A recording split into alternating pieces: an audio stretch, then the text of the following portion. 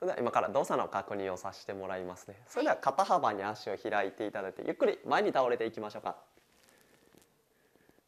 結構硬いですね。無理ない程度でいいですよ。はい。それでは次腰に手を当ててもらってゆっくり後ろに倒れていきましょうか。はい。はいいいですよ。で今見していただいたんですがやはり全体にこうお体がこう右に倒れておられるんでそこを今からしっかり矯正の方で背骨で歪んでる部分をまっすぐにしていきますね。はい。それでは今からですねこの歪んでる背中に私が膝を当てて矯正していきますね。はい、それでは右手からもらいますね。はい、手はパーにしてもらって右手は左の脇を通してください。左手は右肘の下を通してください。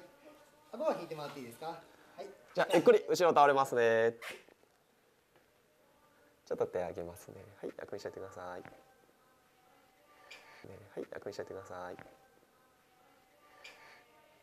うですか？びっくりされます？ちょっとびっくりしますこういう形で続けて背中首と矯正していきますね。はい。それでは続いて背中の矯正をしていきますね。次は私一人でさせていただきます。はいそれでは同じように右手からもらいますね。それでは顎だけおへそ見るように引いておいていただいてそのままゆっくり後ろ倒れますね。はいちょっと手上げますね大丈夫ですか？はい。はい。続いて首の矯正していきますね。はい。それでは続いて首の矯正していきますね。はい。この歪んでいる部分を今から矯正していきますね。はい。ちょっと頭上げますね。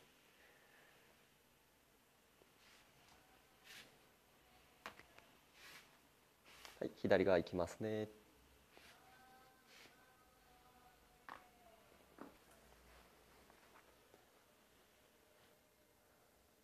これが今まっすぐな状態ですね。はい。それでは矯正の後の動作の確認をさせてもらいます。また肩幅に足を開いてもらってゆっくり前に倒れていきましょうか。はい。もう全然倒れはりますねさっきに比べると。はい。それでは起き上がってもらって腰に手を当ててもらってゆっくり後ろ行きましょうか。はい。はい。いいですね。矯正するとやはりこれだけこうお体変化が出やすくなるんですね。はい。はい。だいぶ曲がるようになりましたね。はい受けられてどうですか？全然違います。あそうですよね。はい。私から見ててもだいぶね変化が出ておられるんでこれを繰り返ししてあげるともっともっとお体楽になりますのでまた続けて施術の方受けてくださいね。はいお願いします。お願いします